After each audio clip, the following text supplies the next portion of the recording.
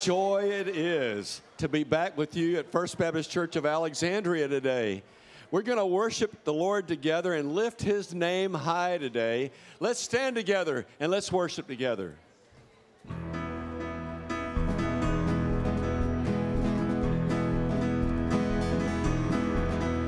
Lift high the name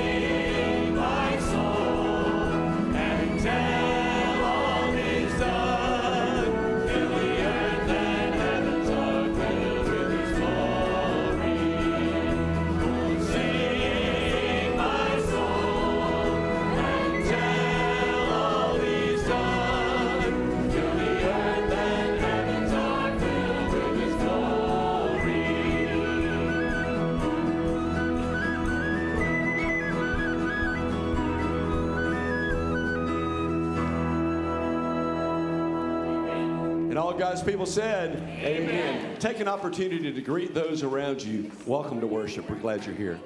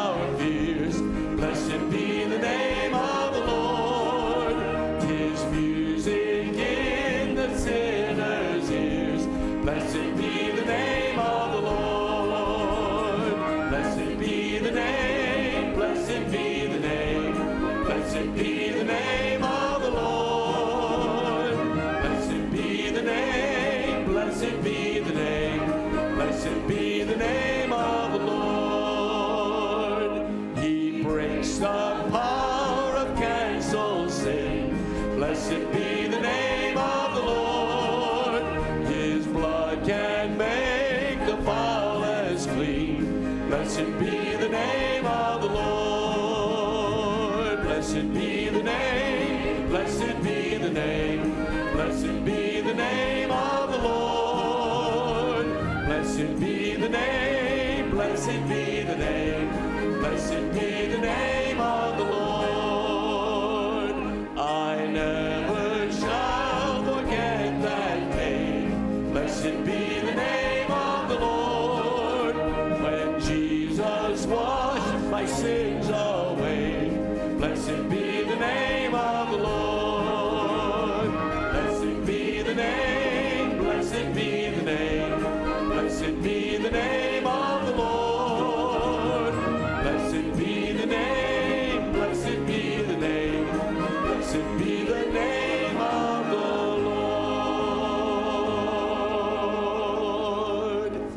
so much.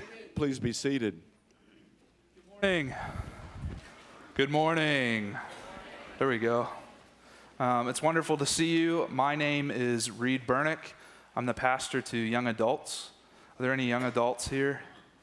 Perhaps people who feel young?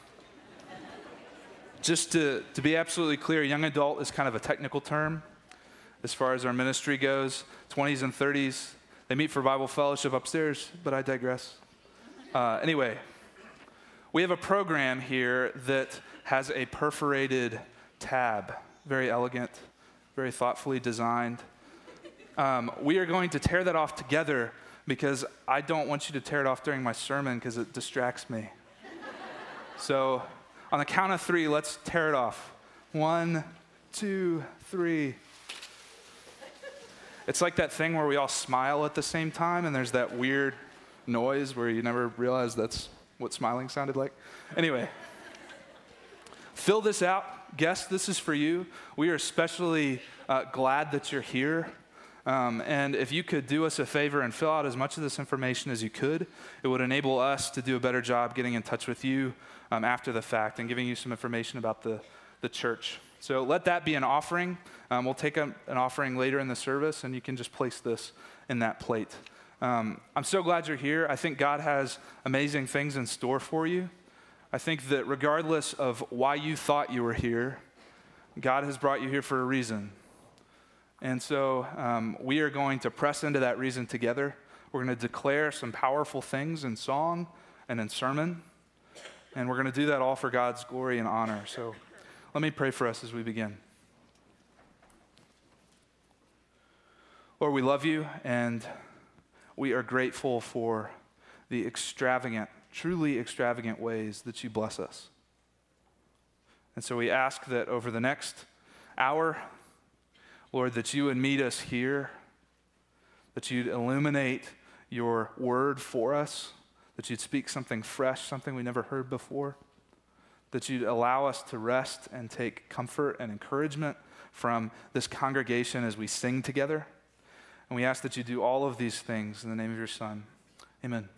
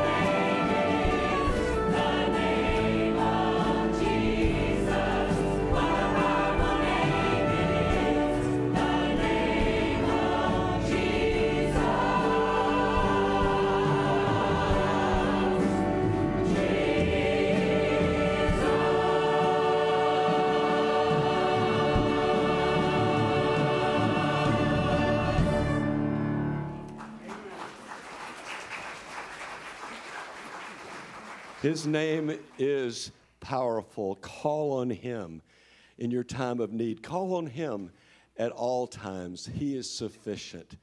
He has a wonderful name, and He's merciful, and He's our Savior. Let's sing together.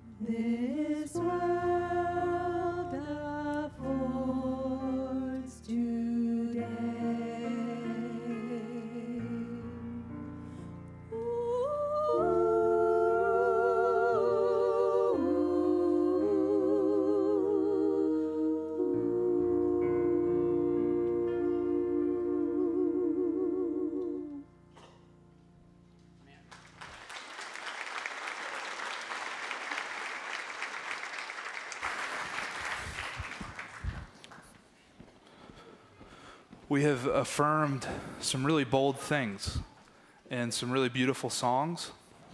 Um, and I don't want us to miss the words that we are hungering and that Jesus provides for all of our needs, and that his mercy and grace is all that we long for.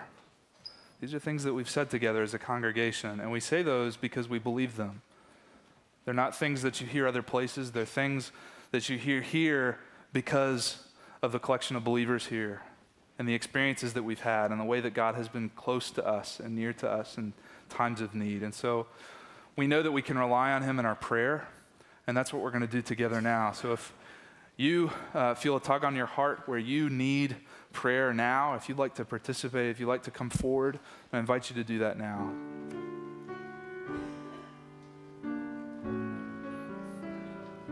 If you're a deacon and would like to see this as part of your ministry, to lay hands on members of this congregation who need prayer, then you come forward as well.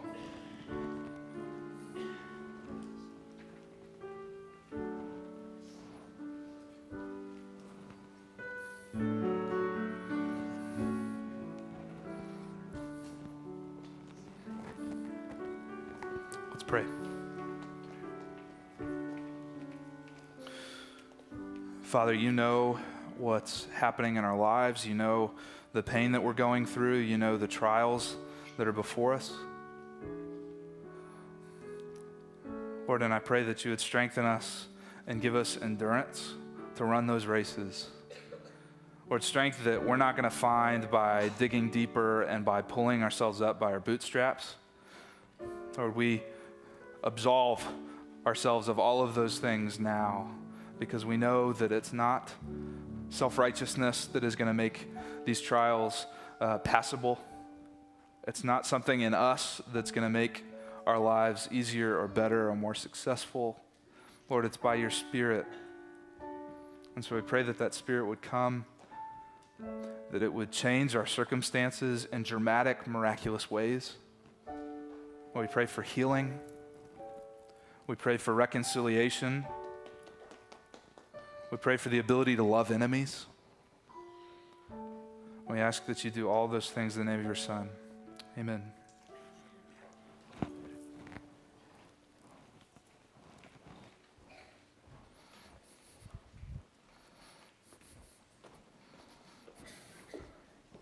If you would, please follow along in your Bible as I read from the Gospel of Mark, chapter 2, verses 1 through 13. I believe you can, you can find that on the screen as well, hopefully. And this is the word of the Lord to his beloved church this morning, to you and I. A few days later, when Jesus again entered Capernaum, the people heard that he had come, and they gathered in such large numbers that there was no room left, not even outside the door, and he preached the word to them. Some men came, bringing to him a paralyzed man carried by four of them. And since they cannot get into Jesus because of the crowd, they made an opening in the roof above Jesus by digging through it and then lowered the mat the man was lying on. And when Jesus saw their faith, he said to the paralyzed man, Son, your sins are forgiven. Now, some teachers of the law were sitting there thinking to themselves, Why does this fellow talk like that? He's blaspheming. Who can forgive sins but God alone?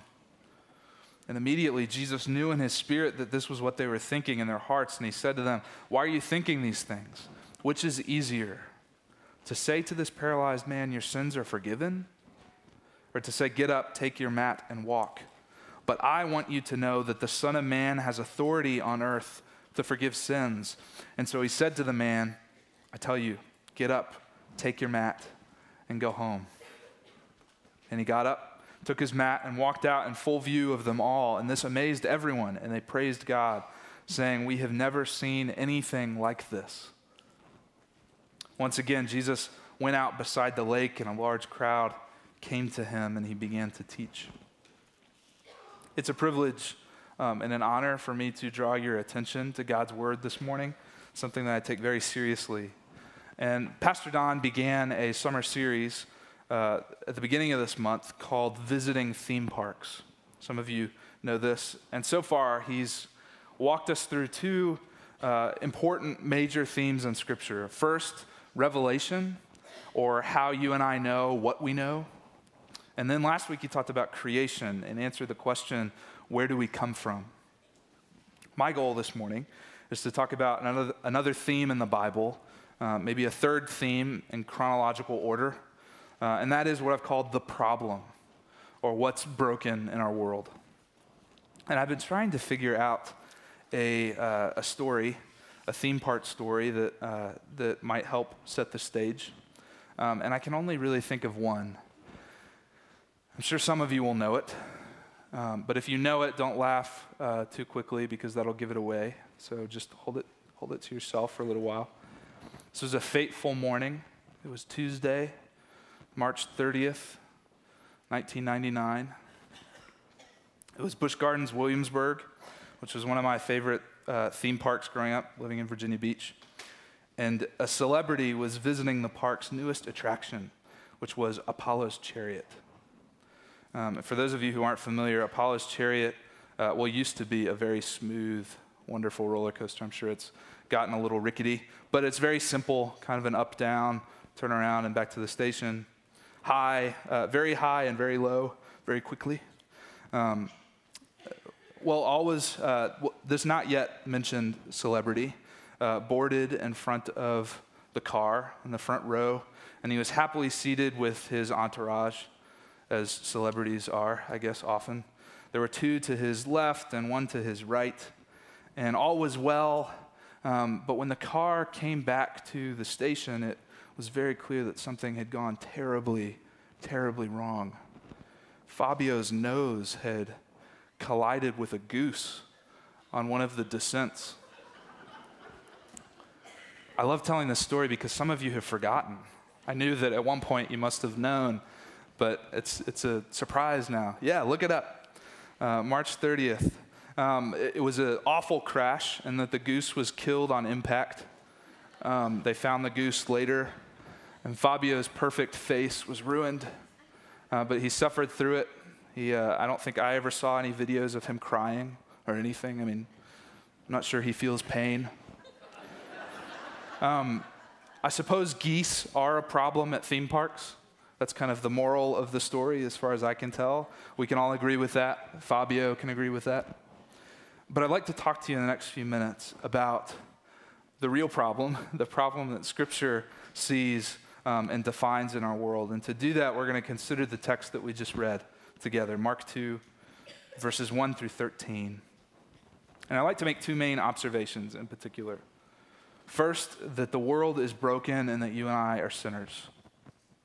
And that's pretty simple, right? You've heard that before. Second, that the world is broken and that you and I are sufferers. And what I mean by that is that just as often as we sin against others, we are also sinned against. And still, that's not quite all we should say because we don't just suffer because of others' sins, we suffer because of circumstances where there's no one to blame. And so, in both of these ways, our world is broken. It's my hope that by identifying and naming those things this way, and then by exploring them together in the context of the story about Jesus' ministry in Capernaum, God can reveal the sense in which both finally amount to one enemy. Um, and both, therefore, are addressed by this one great gospel. In other words, you and I need a big enough vision of the world's fallenness to see something of the extravagance and the costliness of God's grace. And that's why our view of the fall has to be big enough to accommodate both of these things. And so, whatever the case may be, whether you find yourselves feeling guilty or hollow this morning and ashamed of the ways that you've acted, maybe uh, acted towards other people or mistreated other people, or whether you feel like you've been taken advantage of? And uh, you're suffering from something well outside of your control or ability to understand, or even if you feel both in some measure, which some of you do, and most of us will at some point in our lives and ought to. I believe Jesus has something important and good to say to us this morning through his word. So let's begin. Just by way of setting the stage for you and giving you some context uh, to the story we just read. This is early in the Gospel of Mark. This is Mark chapter 2. And Mark is an action packed gospel. Mark is full of things that are happening. And so, by even this point in the story, a lot has happened. Jesus has been baptized by John the Baptist in the River Jordan. He's journeyed out into the wilderness for 40 days. He's called some of the 12 disciples. He's performed at least one exorcism. Uh, he's healed many others in Simon's house. He's taught in the synagogues. He's healed a man from leprosy. The list goes on and on and on. Needless to say, his reputation has grown steadily. In fact, Mark tells us in chapter 1, verse 45, just before where we pick up the story in chapter 2, he says that Jesus could no longer enter a town openly, but instead stayed out in the country, and people came to him from every quarter. This is Jesus' equivalent to the Beatles' decision to give up touring as a band. There's just too many people, too many people screaming, no one's listening. I'm going to stay in one place and people are going to come to me. And so, come the start of chapter 2, he's just returned to Capernaum from Galilee, and the people there who have already seen what he can do, have already seen the amazing miracles he can perform, they seek him out and they gather around him in droves. And Jesus is teaching in a home and the people crowd, crowd in around him to hear, even to the point where there's no room left at the door. And, uh, and then this strange interaction takes place. I think it sticks out to us, at least in part, because visually it's a really unusual thing. I can still remember my Sunday school teachers in first and second grade describing this to me. A group of people carrying a paralyzed man on a stretcher come up to the entrance of the home, maybe, and they are trying to gain access to Jesus, trying to gain some audience with him, but no one budges. And so one of them probably has a creative idea, a plan. One of them is thinking outside of the box. And they hoist their friend up onto the roof of the house and they begin to pull the thatching of the ceiling apart above Jesus' head. And then slowly, after they've gotten the hole big enough, they begin to lower their friend down on a stretcher until he meets the face of Jesus. Given all of this, it would have been very strange for Jesus to ignore the man. Jesus probably had dust and bits of thatch and clay in his hair, as did the other people around him. He just witnessed this very bizarre thing, and so he's got to say something, right? But what he ends up saying is, is about as much like ignoring him and, and his situation as it possibly could be. He says in verse 5, Son, your sins are forgiven. Do you see how strange that response is? If you don't, let me count the ways so we can all notice it. First, it's strange because Jesus has been healing people since the start of his ministry. And yet he doesn't do that here at first, even when his friends take great pains to place this paralyzed man before him. Second, it's strange because the man doesn't ask for forgiveness at all. And to forgive someone who doesn't ask for it is a bit uncomfortable, isn't it? It's awkward. James Torrance, a uh, Scottish theologian who died about 15 years ago or so, wrote this in an essay, and I think this is a, a really good way of putting it. He said, If two people have the misfortune to have a quarrel, and then one day one comes to the other and says, In all sincerity, I forgive you. It's clear that this is not only a word of love and reconciliation, but also a word, perhaps a withering word, of condemnation. For in pronouncing forgiveness, Torrance says, he is clearly implying that the other person the, is the guilty party. Indeed, it can be a very hurtful thing, a harmful thing, if not a self righteous thing, to say to someone, I forgive you. How would the other person be likely to react? I could imagine that his immediate reaction would be one of indignation. Sensing the element of judgment, of condemnation in his word, he might well reject the forgiveness because he refuses to submit to the verdict of guilty implied in it. He would be impenitent. There would be no change of heart. But supposing on subsequent reflection, he comes back to his friend and he says, You were right. I was in the wrong. Implicit there and his acceptance of love and forgiveness, he would be submitting to the verdict of guilty. There would be a real change of mind, an act of penitence on his part. You and I aren't given some inside glimpse of what the man on the stretcher is feeling in those moments. Uh, but I, for one, think confusion would be a pretty reasonable response. And forgiving the man, Jesus has also accused him. Just as Torrance suggested, he's identified in this poor beggar some guilt that you and I aren't privy to. But he doesn't just acknowledge it, he absolves it. He does both things at once. And that and that brings me to the third observation about why this interaction is so strange, at least for the people gathered there in the room. And it's a reason that's highlighted by the reaction of the scribes. If you look at verse 6, Mark tells us that some teachers of the law were sitting there thinking to themselves, why does this fellow talk like that? He's blaspheming. Who can forgive sins but God alone? In forgiving the man of his sins, Jesus has claimed for himself an authority that human beings are not entitled to. God alone can forgive sins. They're right. And so the indignation of those scribes who somehow managed to find a seat in this very crowded room, their indignation is warranted, at least as far as they know.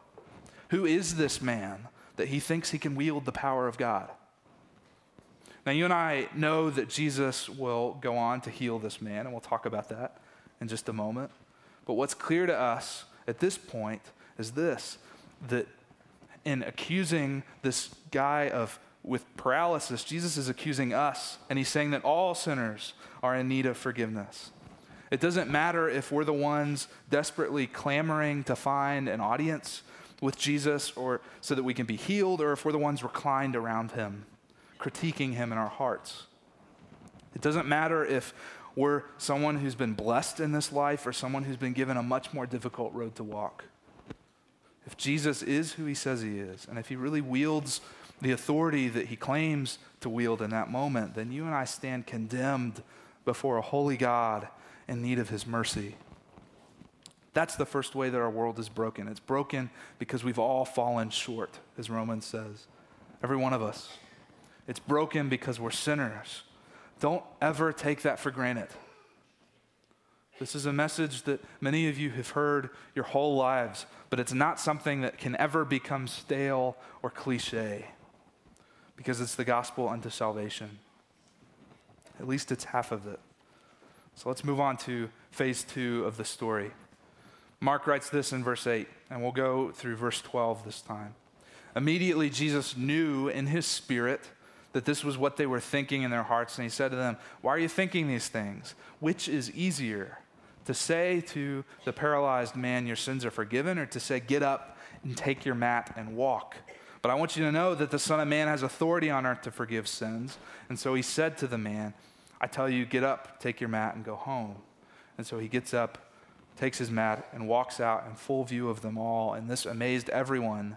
And they praised God, saying, We have never seen anything like this.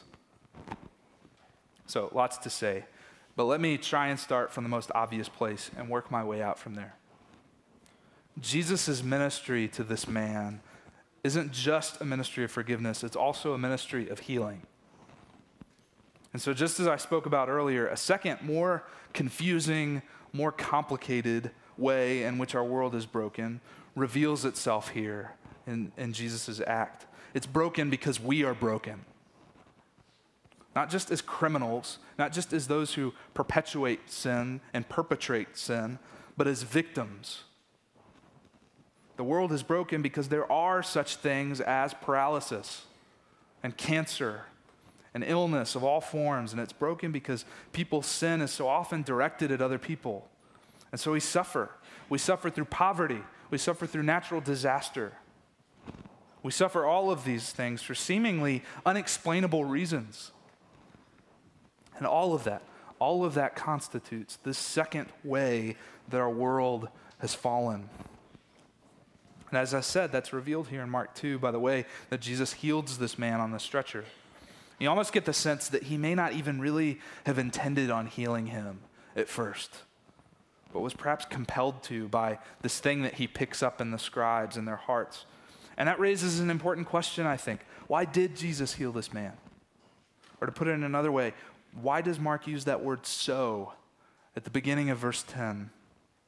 But I want you to know that the Son of Man has authority on earth to forgive sins. So, Mark says, he said to him, said to the man, I tell you, get up, take your mat, and go home. It appears that Jesus heals the paralytic in order to prove to the crowd that he's God. He sees the scribes doubting his authority because the answer to his question is undeniably that it is harder to forgive sins than it is to heal bodies. But this extravagant, obvious show of power, a, a, show of power that is much more visible than the forgiveness of sins, that's his response to their, to their scrutiny. It places his authority as God fully on display for all to see, as if there was any question. In many ways, that's what Jesus' miracles always do, right? They're signs that testify to his lordship over all things. They're always demonstrations of his power. But I don't think that's all they are.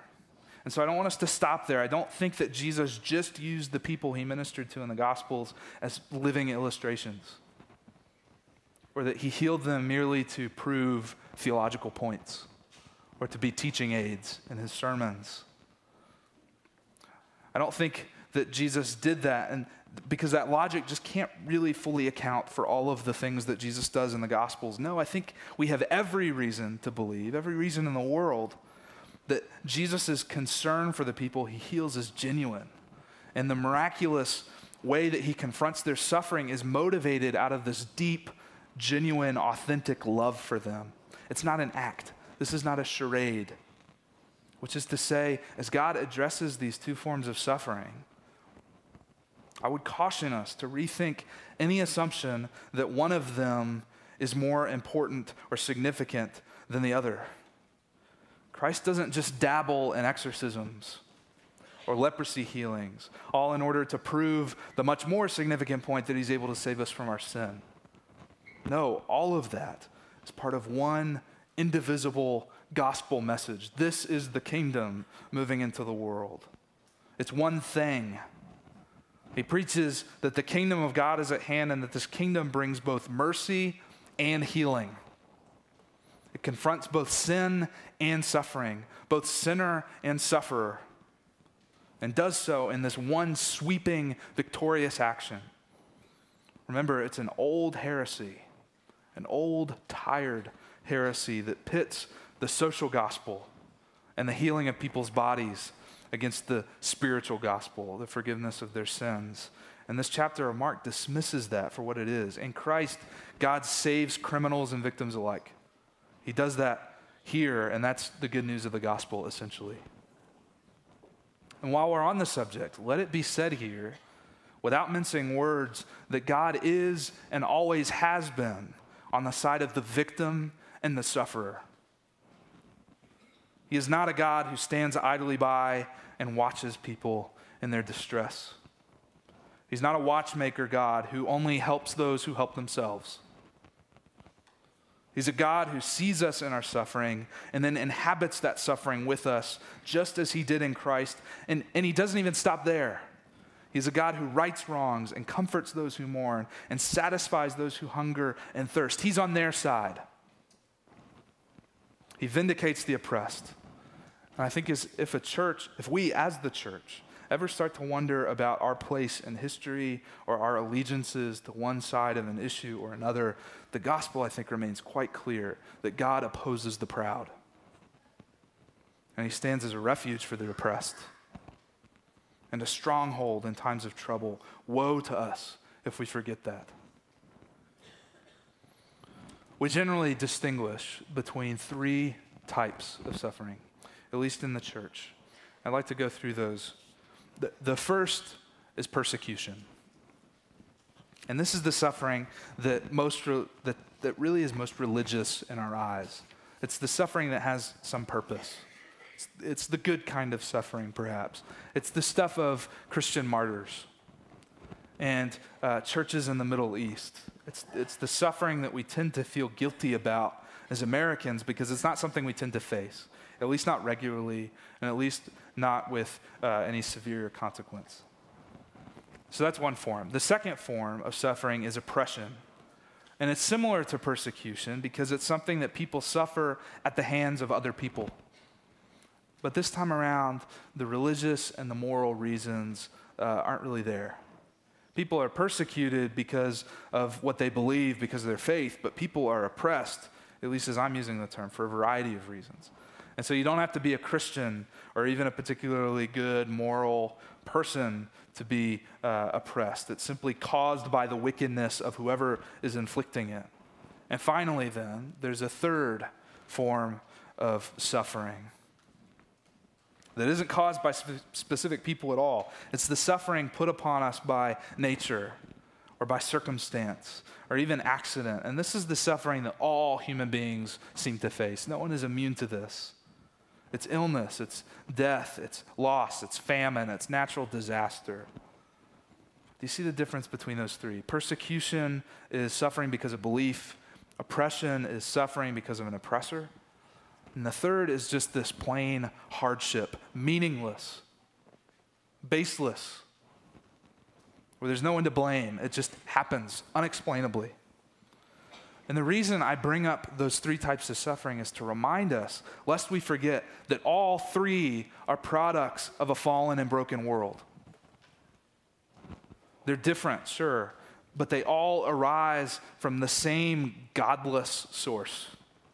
And we're flirting now with that impossible question you've heard before why is there evil? And I think the biblical answer finally is ultimately just a kind of mystery. All suffering, all evil is ultimately this agentless, purposeless thing. It comes from darkness. It's essentially a kind of godlessness, it's a lack.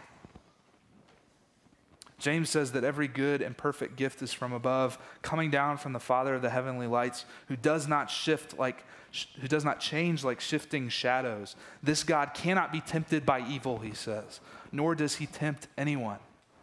And so whatever this wherever evil comes from, it's important for us as a church to affirm that this is not of God. God doesn't instigate these things in your life. It's not him. It's that chaotic water in Genesis that God's Spirit hovers over. It's that it's the chaos, it's the formless void into which God's voice has yet to enter and to permeate and to create. And maybe identifying where our suffering comes from then doesn't matter as much as we think it does. Maybe what's important, maybe more important, is the way in which that suffering then connects us to God and the way that we associate with God in our sufferings because we believe that He's taken them upon Himself in Jesus. We associate with Him in our sufferings, and He, more importantly, associates with us. In doing that, seeing that, understanding that is largely a choice. It's not something reserved for those who suffer persecution. It's something that you and I have in the midst of any suffering we face because we undoubtedly resemble the one who called us, the one we follow, the one we, we imitate. Christians will suffer because their master suffers. That's who we are. And so to follow him is to follow the way of the cross. And I struggle with this because we give so much stock to the idea that we must be persecuted if we're to follow Christ. And we feel guilty if we're not. And if we don't, then, then something's wrong with us. And that all makes sense to me. And yet, it's not quite big enough to encompass those situations in which suffering comes out of nowhere, in which there's no purpose, there's no comfort. It just happens. And you and I have a decision to make about how we're going to respond. Whatever that suffering is, it's coming from that same source. And so somehow we have a choice to make whether we're suffering death threats because of our faith or a grim prognosis because we've been diagnosed with some terminal illness. We must see in our suffering some occasion to bring God the glory and the honor that He's due. If there's any meaning in suffering, that is the meaning of suffering. And God receives that glory in, in one of two ways. The first is by our endurance and our perseverance through that trial. the second, uh, even more importantly, I think, is his absolute, uncompromising victory over suffering in all its forms. No suffering is exalted in God's kingdom. No suffering, not even persecution, is to be glorified or reveled in. That's the model we have in the cross of Christ the, the persecuted God, a suffering which isn't brought to fruition in the grave, but in Jesus' resurrection from the dead. And so it may be hard for you and I to use persecution as a barometer of our spiritual life. That's very difficult for us to do as Christians who, very fortunately, live in a country that, that doesn't leverage that kind of persecution upon us. But I think instead we need to attend to the ways we react and respond when suffering of all sorts enters our life. So, how do you respond to tragedy? How do you react to loss? What's your reflex as a believer when something doesn't happen your way or when you receive bad news, truly bad news? Do you invent some reason for it? Do we console ourselves with, with this false promise? Well, this was from God and he must have some reason from it for it. No, it is not from God. But how we respond, how we endure, acts something like a spiritual EKG, and it reveals the strength of our hearts to resist and rely on God's grace and God's promise and God's hope, even when the going gets hard. And speaking for myself, I know that I do not react to suffering in those ways. I'm thin skinned. And that serves as some indication of the ways that I need to press further and further into this message. And some of you have experienced so much more. My hope, and the hope of every Christian, a hope that I find grows with me, especially during Advent of every year, as I plumb the depths of this world's brokenness that seems to have no end. My hope is that all of this suffering ends. None of it escapes the reign of God's kingdom and its coming. Persecution, oppression, hardship, God doesn't stomach any of it. God doesn't have a purpose for any of it except that He would vanquish it and destroy it and annihilate it. How does Revelation describe the new heaven and the new earth? It says that there will be no more death or mourning or crying or pain, for the old order of things has passed away. And notice how it doesn't draw any distinctions there about what might have caused said pain or suffering. It doesn't distinguish between the death of martyrs and the death of cancer patients. It just says that death will be no more, period. And someday, and we really do believe this, this is not a metaphor. Someday, God is going to make all of these things right. Someday, there will really not be death anymore. And on that day, all three of those forms of suffering will pass away because they are enemies of God. They are part of this old order whose, whose days are numbered. That is the hope of the gospel. Let me conclude with two final thoughts. First, in forgiving and in healing the paralytic, Jesus is announcing to those who've gathered around him that this is what the kingdom of God looks like. It doesn't just look like the forgiveness of sins, it doesn't just look like the satisfaction of physical needs, but it's about both. And Mark 2 makes that clear. And notice the way that the people around him react, because when Jesus forgives sin, people question him. They don't understand, they accuse him. But when he heals their bodies, they celebrate him. Man, that's wonderful. Don't think for a minute that that disparity in their reaction places any kind of preference upon one or the other responses. Again, that's an old heresy that would pit these things against each other. Instead, allow that comprehensive vision of the gospel, of the kingdom, to make you hunger for a day when the brokenness in, those, in this world, brokenness in every form, brokenness within us and brokenness outside of us, brokenness that is within our control and that we have to repent from and seek God's mercy, and brokenness that makes no sense, and brokenness that we don't have any say in, brokenness that we can't control, brokenness of all of that kind, all of that is finally at long last laid to rest. God is going to make those things right. That is the gospel. And hopefully, I've pried that view just a little bit larger.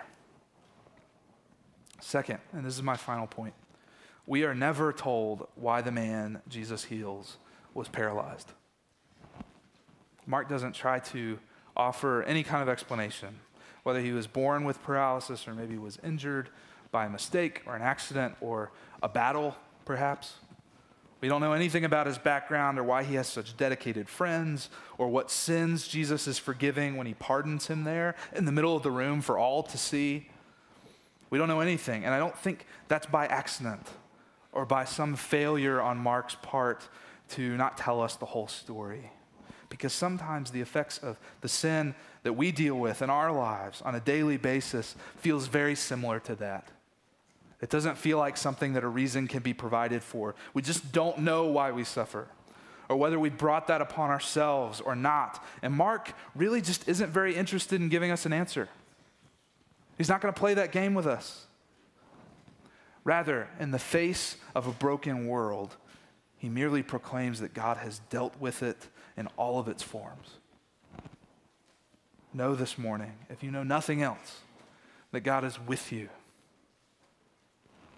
that God is for you, and whatever you're facing, and that these things that you are dealing with will not someday be revealed to be good things. They will be judged and found lacking and will be annihilated. They will be destroyed as the enemy of God. They will be expelled as light expels darkness.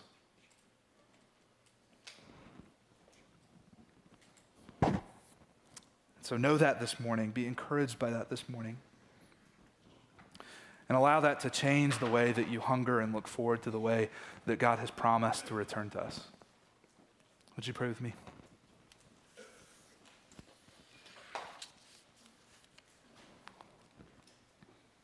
Father, you are a good God. You're a God who seeks our welfare and our safety, a God who desires to bless us.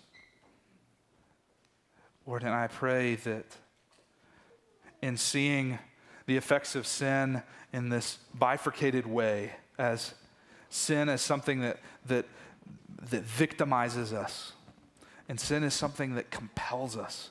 Lord, in, in seeing the scope of the fall, we'd be reminded of the scope of your grace. That your plan isn't one sided, but it's comprehensive and it takes stock of all of the ways that your grace and your mercy are needed in this world. And so we pray longingly that you would come again and restore what you have made. Pray that you give us this perspective to be able to pray longingly for that. We love you and we ask all these things in the name of your Son. Amen.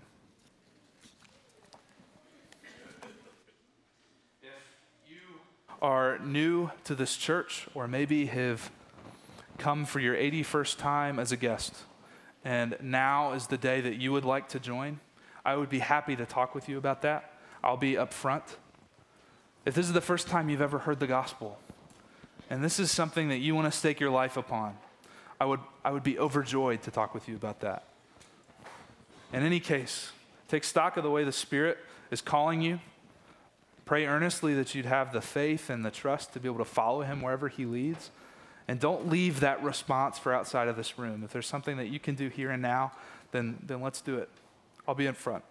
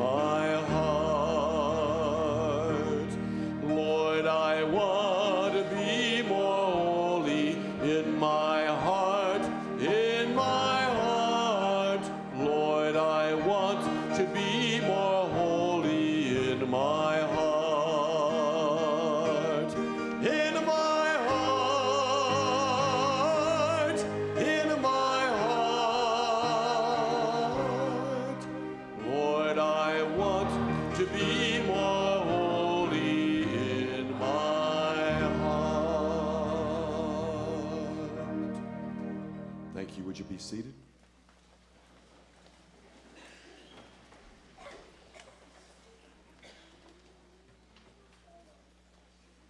Please pray with me. Heavenly Father, we are so grateful that the God of the universe is in control of our lives and cares about each and every one of us. No matter what is broken in this world, or in our lives, or in our bodies, or in our hearts, there is absolutely nothing that you cannot mend. Lord, help us to always remember that. Lord, we pray for a Vacation Bible School this week. This building will be filled with children who are here to learn about you and Jesus, and with many volunteers and pastors and staff here to teach them. Lord, bless each and every one of them and everything that is said and done here this week so that many lives will be changed. Now, Lord, we present to you our tithes and our offerings, which will be used to carry out the work that you have commanded us to do. We pray that they will be pleasing in your sight and that you will bless them for this use. We ask for all of this in the name of Jesus. Amen.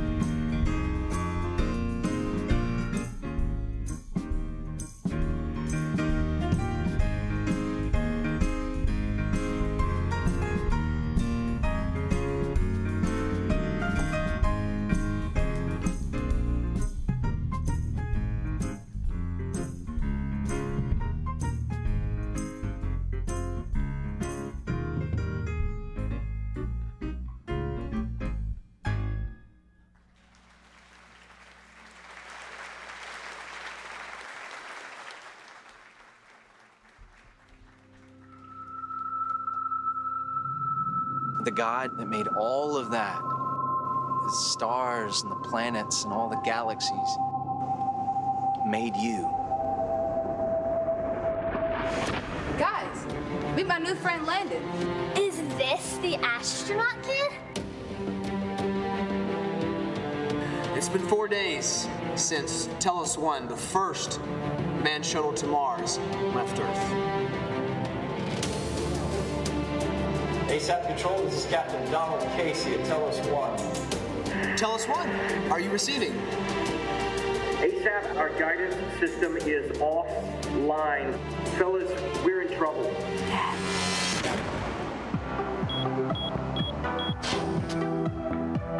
What is all this? Our headquarters. Alex and Hallie and I are kind of a team. If we can solve the problem of Telos One's guidance system, your dad can come home. You really think you can do that?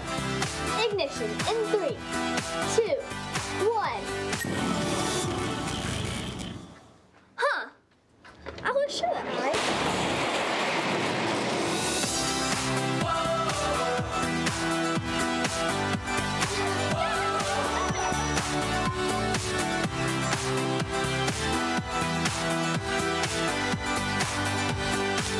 We're closer way to a solution. To be able to contact them.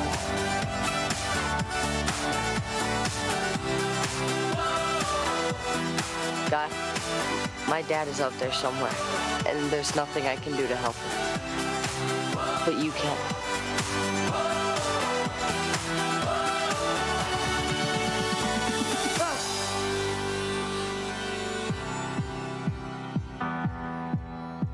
It's a cookie launcher.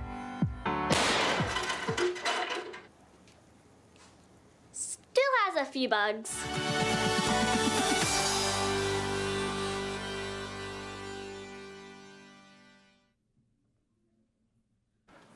So, next week, um, a lot is going to happen here. We will have 450 children at least here uh, for the week who have made, um, who God has placed under our care for uh, the reason of sharing with them the good news of the gospel. And so that's amazing. We have 150 volunteers, so we are outnumbered uh, vastly. No, we. I cringe when I say that because we, we have everyone we need, um, so we will be, everything will be fine, trust me. Um, but 600 people in total, so that's a lot of moving parts, that's a lot of logistics. Be in prayer about that.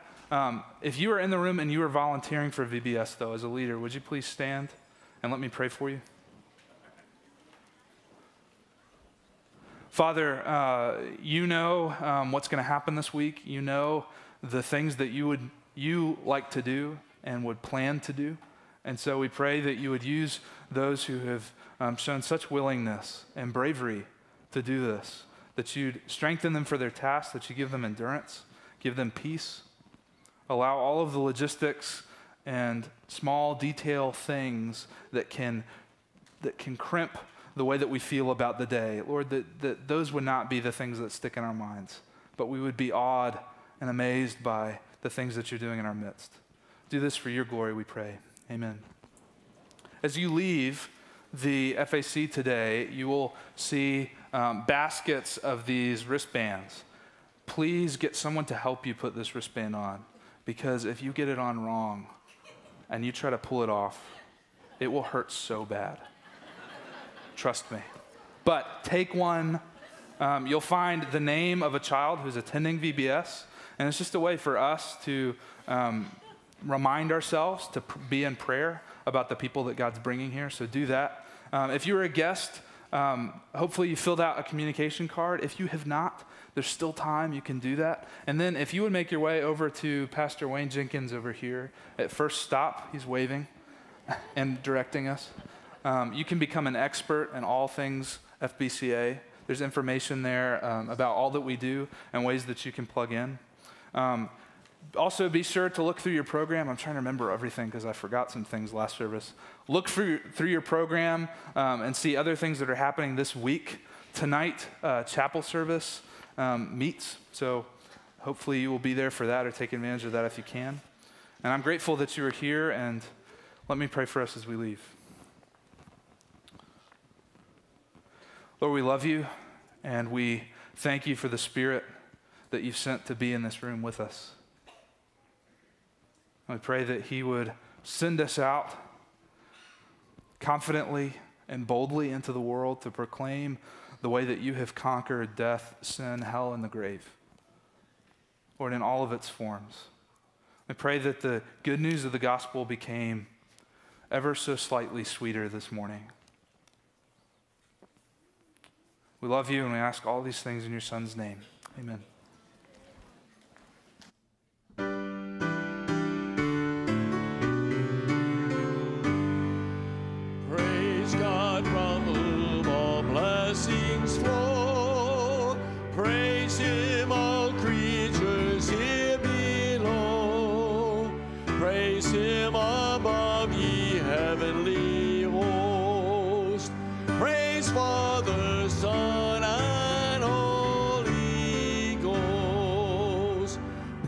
God from whom all blessings flow. Praise him, all creatures here below. Praise him above, ye heavenly host. Praise Father, Son, and Holy